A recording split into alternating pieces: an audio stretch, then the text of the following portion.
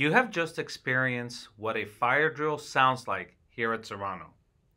In a fire drill, it is important that you find the nearest exit. Follow your teacher's instructions as you make your way down to the blacktop or the upper field.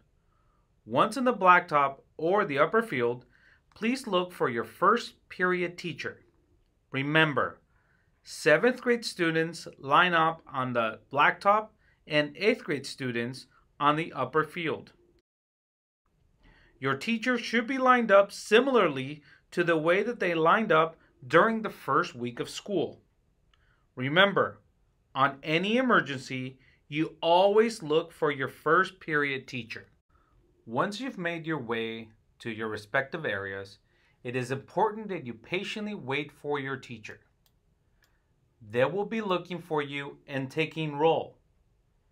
It is your responsibility to sit with your class and patiently wait for your teacher to take roll.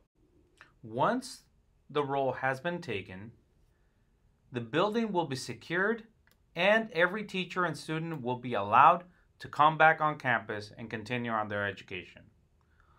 Just a quick reminder, 7th graders line up in the blacktop, 8th graders line up down on the upper field, as seen by these pictures.